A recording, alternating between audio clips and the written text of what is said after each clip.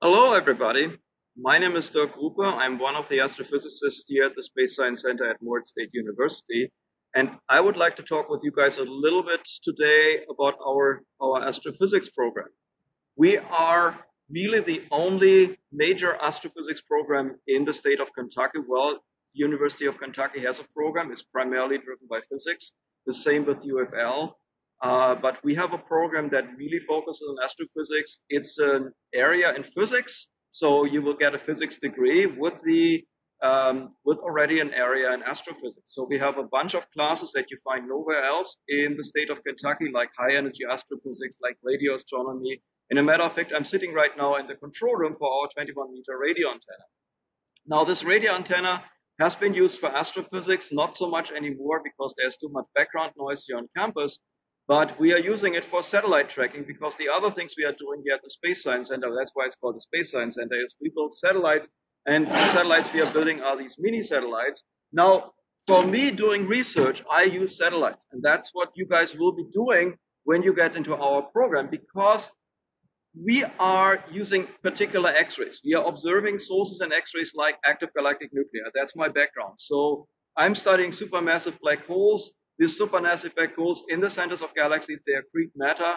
And this accretion just becomes very, very hot, something like several tenths of thousands or hundreds of thousands of Kelvin. And that means that it emits in X-rays. And I am using in particular NASA's mission called SWIFT. I have also used XMM and Chandra and all these big missions as well.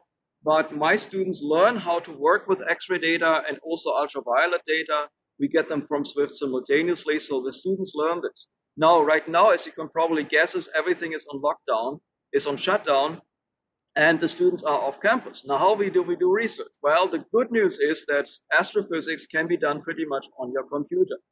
I receive my data from NASA, I download them to my machine, I do all my data analysis on the computer as well, and the students do the same. So although we don't meet in person right now, we still do research going on with students. So the students have the software running on their computer and they can still work on this. And once a week, we actually meet online and talk about the progress that we are getting with our data research. Typically, what I do is I take students to meetings, and that had been also the plan by the end of April this year. We were supposed to go to a meeting in Virginia. Well, it's not going to happen because of the coronavirus, right? So here we are. So we do everything online. So no meeting for now, but hopefully in November we will be back to normal. So I can take the students back to the Kentucky uh, Academy of Science meeting, which will be at EKU this year. So we will go in there and the students will present something. Now don't be afraid of presenting something. It might sound scary to you, but you will get there because when you want to become an astrophysicist, you have to communicate. You have to give the talks about your results. And that's what we are training you. Uh, the big advantage here in Morehead is that we have a relatively small group. Um, now, this might be sounding not so good because you want to be in big groups, right? But hey, when you talk with a professor, that's better if you have a small group because you can talk one one to one with your professor.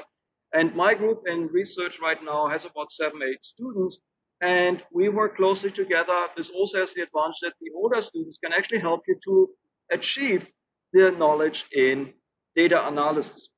So we train you. We have a very good ratio for this. Again, it's a physics degree, but we specialize on astrophysics. So by the four years you are here, you will be ready to go to grad school and work in your PhD there. We don't provoke, we don't provide this. We only do a bachelor degree, but uh, for the bachelor degree is is crucial that what you learn at the university is coming hopefully from a smaller university where you can work one-on-one with a professor.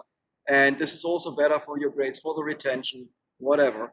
And we are here also to help you for answering your questions. So please have a look at us.